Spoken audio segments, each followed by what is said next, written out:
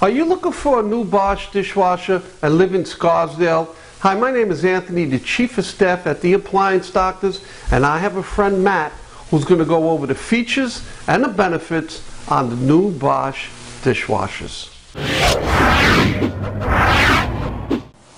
Okay, so my name is Matthew. I'm from Gringer and Sons Appliances down on uh, 29 First Avenue.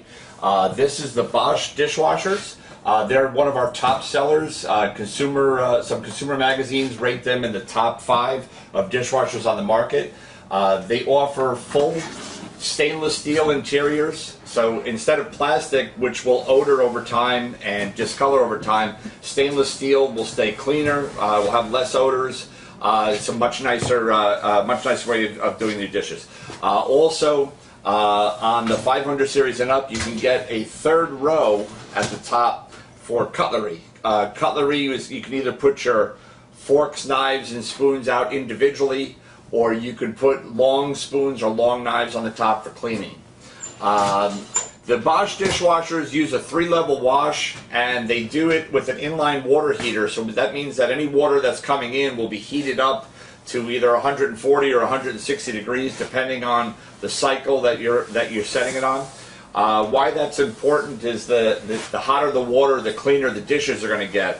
And the uh, uh, other brands that use a heating rod at the bottom, they only have uh, whatever the water temperature comes in at, it'll add about 10 degrees to that water. So if your water comes in at 100 degrees, you're only going to get a 110 degree wash, where Bosch is going to be 140 to 160 degree wash.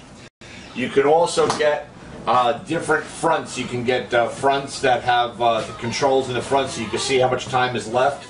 Uh, or you can get hidden controls with what they call either a plush handle or a towel bar handle with hidden controls. Uh, these dishwashers are so quiet that you'll never even know they're running. So they actually have an info light that shines down onto the floor to let you know that the dishwasher is still running. Some of the uh, higher end versions will even show you how much time is left with that info light. Uh, you can also get the dishwasher as a panel ready, so you can put your own wooden front on it and match the cabinets. And uh, uh, overall, it's it's a great, quiet, great cleaning dishwasher. Uh, it uses a condensate dry, which means that you don't have to have a heating rod at the bottom.